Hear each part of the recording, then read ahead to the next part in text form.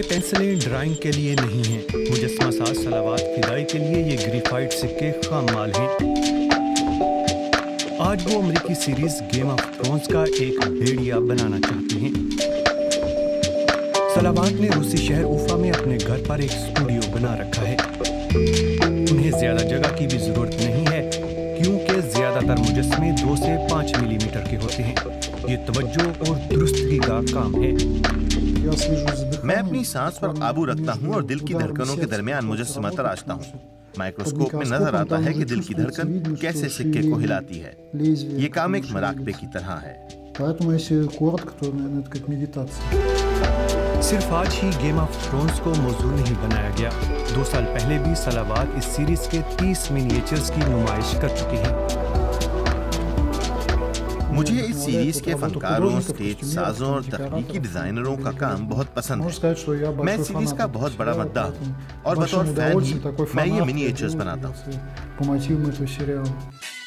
सन 2014 से सलावत फिदाई सिर्फ़ मिनिएचर्स पर तवज्जो मरकूज किए हुए हैं। ज़रूरत का सारा सामान वो अपने शहर से ही खरीदते हैं।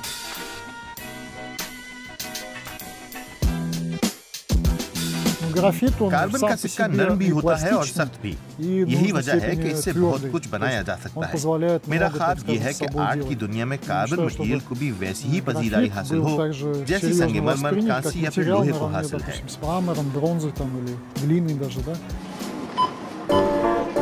लेकिन सलावात फिदाई अपनी पेंसिलों से बहुत तरक्की कर चुके हैं। बैरूनी ममालिक में भी उनके मिनिएचर्स की नुमाइश की जाती है।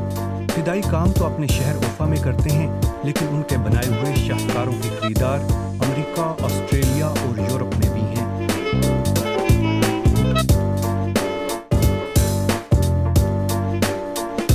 Я думаю, если бы у Ван Гога в свое время был Инстаграм и मेरे доступ ख्याल в से अगर интернет, फान गॉग то के он уже पास при उस жизни वक्त был इंस्टाग्राम бы अकाउंट весьма होता известным, а не तो так, वो как भी अपनी сейчас. जिंदगी में मशहूर हो Наверное, все चुका дело होता в интернете, поэтому इंटरनेट неважно, फैसला где कुन сейчас आंसर ты है находишься, где अब ये живешь, अहम नहीं фактически, कि да, आप то कहाँ रहते с हैं помощью सोशल Инстаграма, मीडिया से आप соцсетей, दुनिया как भर में вообще मशहूर доступ हो в सकते हैं интернет, можно стать популярным на весь мир. इंस्टाग्राम पर सलावात फिदाई के सात लाख साठ हजार से जायद फॉलोअर्स हैं उनकी दौराने काम बनाई गई वीडियोस लोग ज़्यादा पसंद करते हैं। फिदाई शुरू से इस शोबे में नहीं थे।